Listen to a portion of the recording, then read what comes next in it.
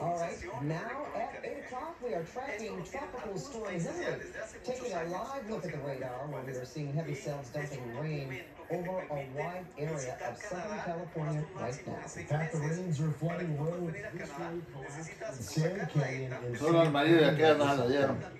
¿Quién? De la canadiense. And we've got earthquakes.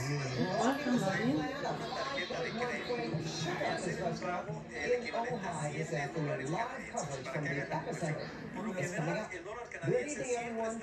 I'm Pat Harvey. And I'm Juan Fernandez. Welcome to KCAL News at 8, streaming live on CBS News Los Angeles. And we are in one of the heaviest part of the storm. Hace ETA. Hilary is pounding Southern California with heavy rains over a widespread area. KCAL meteorologist Emily Taft is live in the weather center with that and the very latest on winds.